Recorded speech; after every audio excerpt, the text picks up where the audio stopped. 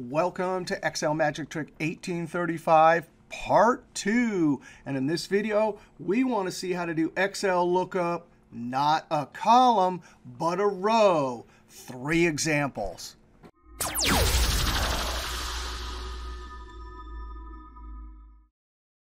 Under the last video, Korish says, hey, that's an amazing video about looking up a column. But he says, I wish you'd extend it to show rows too.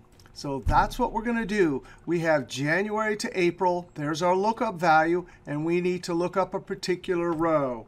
We can use a new dynamic array function, CHOOSEROWS. Last video, we used CHOOSECOLS, the array, comma. And I want to look up February, which is the second row. So that will work. But that formula right there, hard-coded at 2, it's not linked to this cell. So when we change it, this will not update. Well, rather than hard-coding a number into row num, we're going to use XMATCH.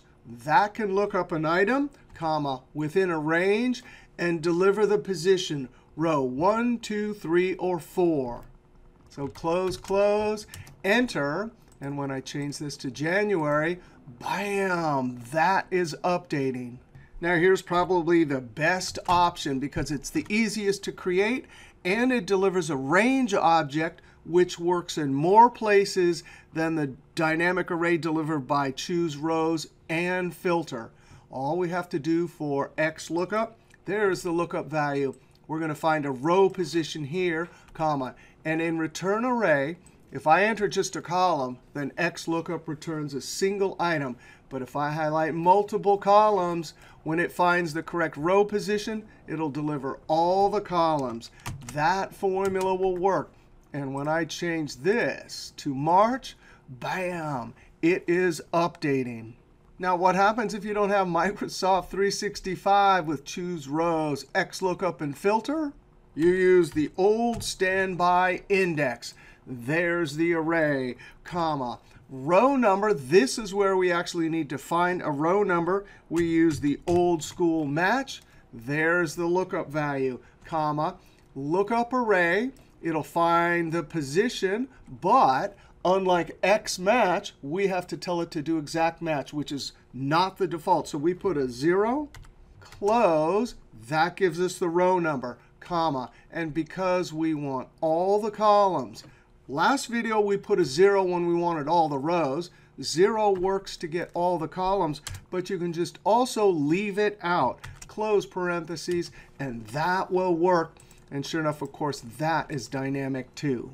Microsoft 365 has filter, and there's the full array. And slightly different than XLOOKUP, we can't put a lookup value in a match column. We have to put include, which is a full range here. And then we have to do a logical test. Hey, are any of you equal to January? So this is a little bit more complicated to create, but it doesn't deliver a range, which is more convenient, like index and XLOOKUP. But filter, when I hit enter, that will work.